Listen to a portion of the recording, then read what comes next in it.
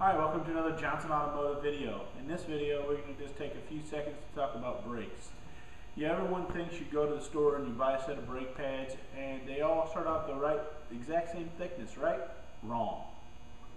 Just like in this example here, uh, we have uh, some that are greater than uh, 12 millimeters, almost 13 millimeters on this one. And let's see here, this one here is about 10 millimeters. And this one here eh, is uh, closer to about 10, 10, 11 millimeters.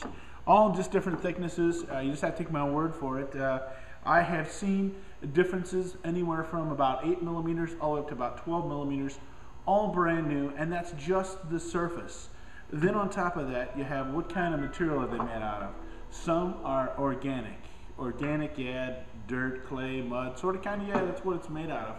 Um, semi-metallic, you have different kinds of metallic, different uh, quantities of metallic level. So just because you think you're getting a bargain brake pad, uh, yeah, sometimes you get what you pay for.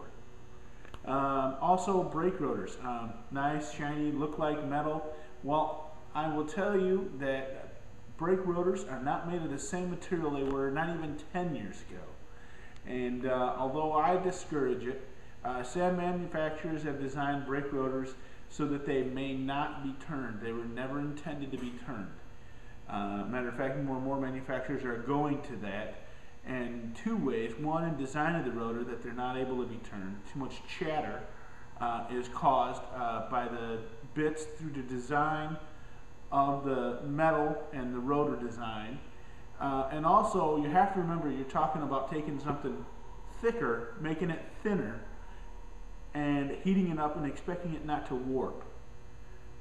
Uh, so that's uh, that's enough said about that. The last quick second, I just want to take a second and talk about brake flushes.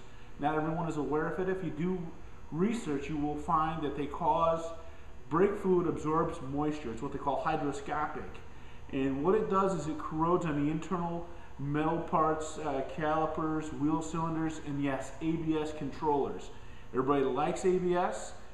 But when the controllers get corroded and the valves hang up, yeah, that's when one wheel is hanging up. I've had numerous people come in, hey, I've replaced all the components on my vehicle, new pads, new rotors, new brake calipers, and I still got one wheel that pulls, I got new hoses on it. What could it possibly be? Yeah, well, in some cases, it can be that the valve in the ABS controller is hung up, and that's what's causing it to pull one way or another. Also, believe it or not, brand new brake pads can cause a brake to pull from one side to the other. You know, it can always pull to the right side, and all it can simply be is a brake pad. That's why you should have a professional install quality, the correct parts, designed exactly for your car. Thanks for watching. Have a good day.